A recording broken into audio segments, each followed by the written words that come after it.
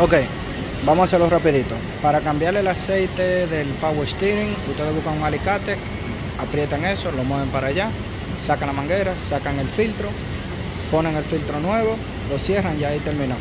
Ahora aquí abajo hay un tornillo, mírenlo ahí, ya está quitado. Lo quitan el tornillo, mírenlo aquí, un 5 octavos, la llave es una 5 octavos, la sueltan, abren el filtro, se les sale todo el aceite, vuelven y lo cierran y le ponen aceite nuevo. Así de simple que se cambie el aceite del Power Steering.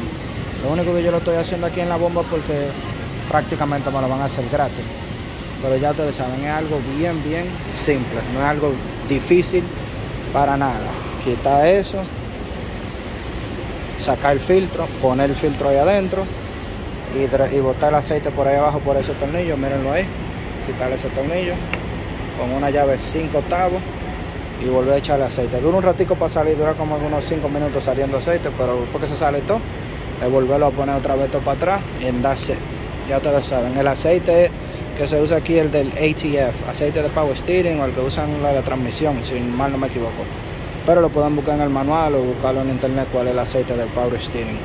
Ya ustedes saben.